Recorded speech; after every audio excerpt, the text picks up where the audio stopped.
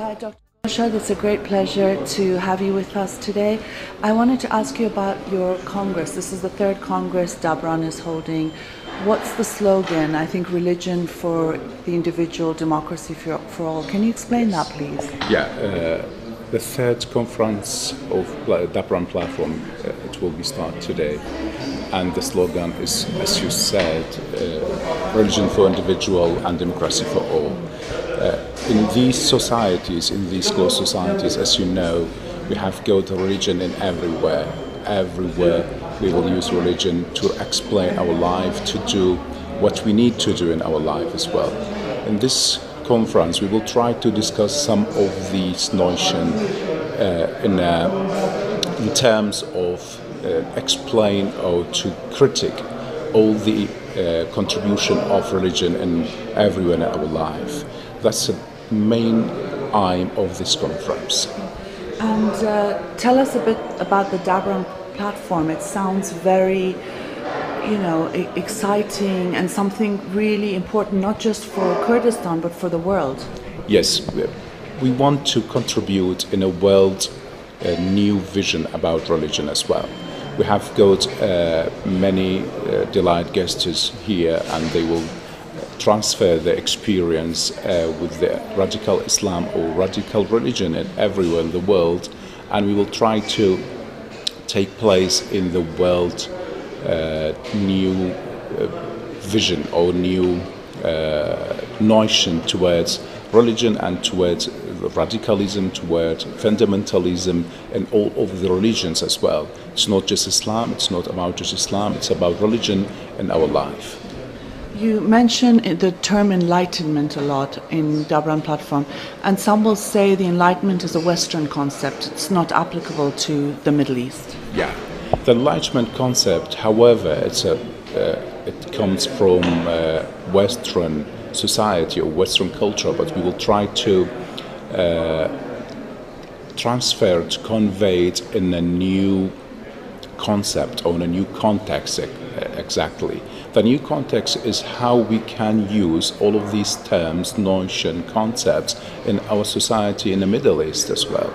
We have got many thinkers, many people who have a very good relationship with these concepts and with these terms, and they will try to translate all of these things, all of these thinkers' uh, view to our society in Middle East and in Kurdish society in particular. The other thing that's very clear when you uh, look around Suleymania is this idea that secularism is so important here as well. Uh, can you explain that? the secularism as a term, it has been discussed in our society in the last two decades. It's not new for the Kurdish society because uh, one of the great party here, which is uh, Patriotic Union of Kurdistan, they will try to uh, discuss this term and uh, moreover some of the other uh, communist parties as well. They will try to discuss this and to bring this in our society. In Suleimania, as you see, because they name it the capital of culture in Kurdistan. Most of the people here they are intelligent people, and they will try. These inter, uh, people try to show the world they are deserve to be in this city, they are deserve to be in the capital of culture in Kurdistan. For that, we can see a variety of people here. Uh, secularism will be the main uh, slogan of the city, and after that, we can find all of the believers here uh, because it's an open society, and the city tries to show the world how we can live together, how we can be together. That's the main uh, point of the Suleimania city. What sort of support can people outside give to Dabran platform and to secularists and the enlightened here in Kurdistan? Uh, sorry, Sorry, um, the sort of uh, support people can give uh, here to this to the Dabran platform and to people here. Yeah, uh, all the people who are working here in the platform Dabran platform. There are people coming from the academic uh, sectors. There are people coming from uh, the other type of work here in Kurdistan.